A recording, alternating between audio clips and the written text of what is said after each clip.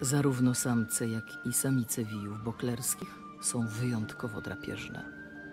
Choć na ogół polują w grupie, autorowi tego niezwykłego dzieła udało się uchwycić pojedynczego osobnika, szykującego się do ataku.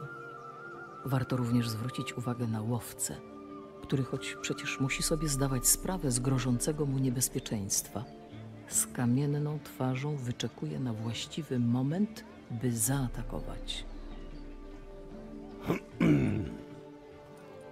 O, Geralt, jesteś. To wspaniale. Pozwól. Cieszę się, że przyszedłeś. Mam dla ciebie mały prezent. Nie możesz odmówić.